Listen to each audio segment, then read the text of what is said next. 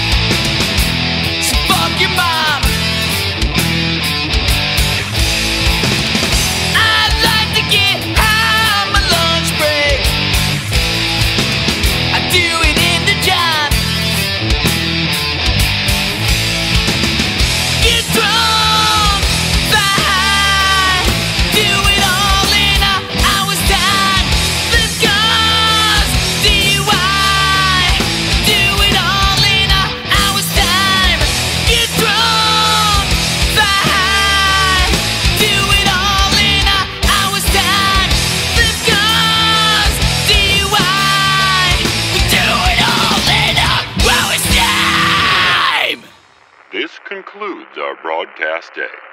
Good night, and God bless America.